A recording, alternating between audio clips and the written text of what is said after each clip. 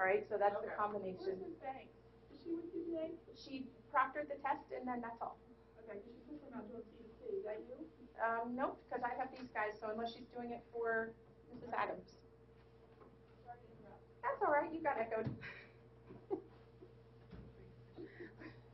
So now we get to hear Mrs. Wheeler for the start of it. I'll figure out, if I can, how to edit and chop the first few seconds. All right, so module three content. So I'm just gonna run through what we're doing for the next three days, so you have kind of a, an idea of, of my plan, knowing that all plans are flexible to a degree, right? Um, but this is what the plan is for the next three days. So, um, most of it is going to be based right off this reading assignment and uh, PDF here, and I'll go through it. There are some things within each folder. Each folder is the concept and then the exemplars within, right? So there's something in all of them. And I'll go through what's posted here is the easiest way to run through it. So, with this one, let me make it a little smaller. Can you still see it? Yep. Good? Okay. So today, so from 10 to 11:30 we have class. So we're going to be going through development, growth and development, including nutrition, dental, immunization, and we're going to be going through family. That's what we're doing in the next hour and a half, and yes, you will get out on time. But yes, I will use all the time, all right? But at 11:30 we'll be done. And what, I'm also going to talk now about what I want you to think about for next week, okay? So today, what, hopefully what you did is spend a little bit of time, I know you had a test, so most of this review is kind of what we already did in lab, right? So infant, toddler, preschool, school age, adolescent. Those are the groups that we're gonna be going over, and we have, I think, a pretty cool activity to make it cement in a little bit, that we'll be doing. And then we're gonna talk about family. Did anyone get a chance to look at that video? No. Okay. It's a two-minute video, and I'll show it in class, all right? But that link is there so that you can watch that. That's under the family tab.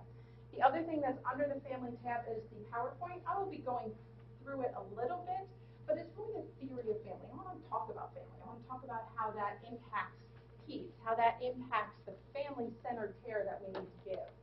So that's all going to be part of today, okay? So there is something for next week that I would like you to work on, okay? There's not a great section in either of the readings about uh, culture and diversity as it relates to giving care to kids.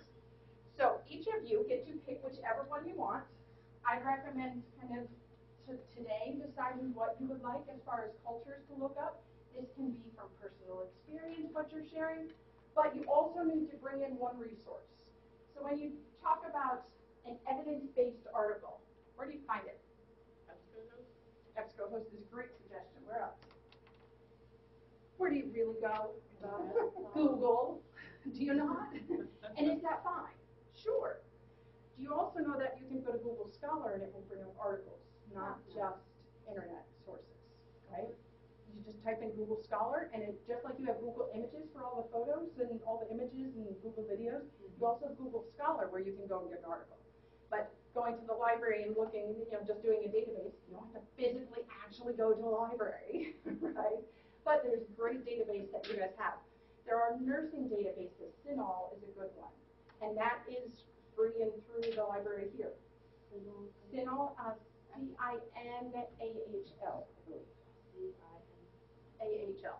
So I want you to come with one article about giving care to kids that are of a culture other than what you have, right? So other than your culture. So we're gonna talk, today, before you go, I think I'll have you pick so that we're not all doing one, so that, because we wanna hear about all those different groups. There are five listed, six listed, so that makes two people per culture. I am also fine with you guys working together. If you guys wanna, you have the same culture and you have time and you wanna work together, fine, but I'm not making it a group project. If you wanna do it all by yourself, that's okay too, all right? But bring something, we're gonna spend some time next week talking about what you found in those articles. So bring one copy of your article, you don't need to bring a copy for everybody, but you're gonna be sharing what you found in that article about the culture, okay, and how to give care. If you can, make it about peds. If there's not something about pediatrics, find one about family, okay? So that's what we're doing in preparation for next week. We also have next week infection, we're gonna be talking about otitis media and conjunctivitis. We're also gonna be talking about violence and child abuse. Anybody done stewards of children yet? Yes? All right. Think about stewards of children based on what you have this week. I don't know what the rest of your life looks like this week, right? It is not due before class, but it will help you in our conversation next week. It is, there's a place on your calendar, I think it's like the twenty-first or something, that it is due because it is a requirement for clinical, it counts as three hours of clinical, right? That you're doing. So you've already done, tell us about. Now, that was before two exams ago.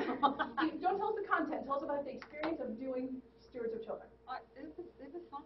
It wasn't, user-friendly. it took a little bit over two hours, but you know, doing it at home, you can take a break here and there. And you, um, you go through several minutes of listening and, and reading, and you answer a couple, few questions, handful of questions every, you know, few minutes. Post-test? Post-test? Right? Yeah. So you have to get eighty percent on the post-test to get the certificate. You can certainly go back and watch things as you need to. Don't let the, it's not a hard test. I guess there was. I've heard it before. Oh, it was two It tests wasn't ago, hard. wasn't it? You think It's not when do you have to bring a copy of the? Bring a copy of the certificate, right? Give an option to email. Okay. The other thing I would recommend is keeping a copy of that certificate for you, because now you have something on your resume already. Why? Because stewards of children and child abuse, um, training is something highly recommended, especially in slow and lower as a result of Dr. Bradley incidences, et cetera, right?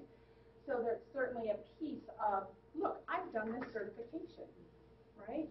When you take other classes, or you go to a training, or you go to a seminar, right, start writing these things down, right? Because that, that's gonna lead to make you stand out on your resume. I'll do my little soapbox. Um, ACLS, Advanced Cardiac Life Support, you do not need to be an RN to take that course. So if you're finding yourself with some downtime this summer, It is not required to be a nurse. You need your CPR with BLS, but you do not need advanced cardiac life support. You find a class, you take advanced cardiac life support, and now you have another resume builder. I'm already ACLS certified, can I have a job? Right? Do those kind of things. If you're doing volunteering, put it down, right? So I'm just keep, you- keep those professionalism things coming in, in as well. All right, back to what we're doing next week. It did carry over to one more page. I moved it up, like I said, inflammation, uh, is your concept, arthritis is the exemplar. Just, we're gonna be covering that so that we have more time on the twenty-fourth. The other piece of class next week, uh, we will be starting at eight thirty, we're done at eleven, so that at eleven thirty you can review exam two with Mrs. Lewis, okay? So that you can see what your mistakes are, so that we can fix them. Before you have your final, and before you have exam three, right? All right, and so what we're gonna do on the twenty-fourth, because I have three weeks in a row, that twenty-fourth, we're gonna go through oxygenation, cellular regulation, intracranial regulation, and safety. The other part that we are going to do that day, and it might be something if you have time to build a little past eleven thirty, because you know I can fill any amount of time with teaching you things. But we will be doing at least fifteen minutes of exam prep. So, okay, so exam three, we'll do some in class, we'll do fifteen minutes, but if you have more questions, I'm gonna stay until you're done. Okay, so if you have more questions, you wanna stay past eleven thirty, completely optional, no new content, but that will be an opportunity to ask any questions that you have on exam three. Okay, so we're gonna, yes, class time, but also if you need more after. Okay? Twenty-fourth. I will talk next week, we also have Wednesday lab, right? So we have Tuesday class and Wednesday lab. The Wednesday lab, the half of it is going to be um, asthma stimulation, so you know the topic, but we don't cover asthma until the next week. Might be good to get that reading done before, just so it makes more sense. And I'll be talking about it in class. Uh, if we can get to some of the asthma in class, that's great. And I don't want you to feel like the sim lab, you have to know everything about asthma, right? Sometimes it's better to try it first and see what you don't know. then we'll make, tie that in with the next week's lecture and, and bringing that all together. Okay? Questions? All right, so what are we doing today? We're going to start with uh, growth and development. I did bring a few resource books. Um, the ones that I like, your readings um, have both your Bob reading and your ATI reading. Um, both are good, but your ATI book has a chapter on each age bracket. So there's a chapter on infant, chapter on toddler, et cetera, et cetera, right? So that might be, this has a, a nice outline of the things. There, it does have the same topics in Bob, I just like the setup a little bit better in the ATI for, for that. Um, the family is, is, either one was fine, uh, uh, the family centered care and the pages assigned there, um, but do take a look through. So, to help you take a look through, I'm gonna have you get in groups of two. I think we're off by one number, so anybody? Well, we can do it two ways. So groups of two, we have five groups, so my plan was two for each group, and then we would have all of our age groups covered. Do Does someone wanna work by themselves, or do we- does a group of three wanna tackle two age groups? Your call. I can do it. You wanna do so? I have one in every all right. So, here's what I have for you. I have printed out the ATI templates for growth and development. And I'm gonna show you after we're done echoing in this part here, so I can pop out to the other screen. And I could do now as well, but I'm gonna show you a couple things in ATI as we have time today that are helpful. This is not required, but your growth and development templates are there. So what you're gonna do is you're writing your notes, and I did it double-sided, but you only need to do one side, for the age group of your group. So we're gonna spend about fifteen minutes. So here, physical, cognitive, age-appropriate activities, etc. Some of the others, you do not need to fill in all the squares of this, but this is gonna help you. If you guys are fine with it, what I would like to do is when you're done making your age group, I would like to make a copy for everybody so you have all of them. Okay. Right, so I'll do that during a break. But don't just fill in the boxes. That's a little boring, and that's what a textbook is for, right? So here's how we're gonna tie it in. You guys are going to plan a birthday party for the age group that you are working on. So if you have a infant, you're planning a, uh, half, half year party or a one-year-old party for the infant, right? Your toddler, you're planning a two-year-old's birthday party. For your school age, you're planning, um, uh, your preschool, I should say, let's do a four-year-old. If you're doing school age, you get to pick somewhere between kindergarten and sixth grade, or if you're planning an adolescent birthday party for them, right? So what kind of things do you need to think about when you're planning a birthday party? Take it from there. And then you guys are gonna report out to us what are important things milestone-wise, activity-wise for that age group, and tell us about the birthday party that you planned for that age group. Okay, you pick a boy or girl, make up a name, make up a scenario, make up a theme, however you wanna take it.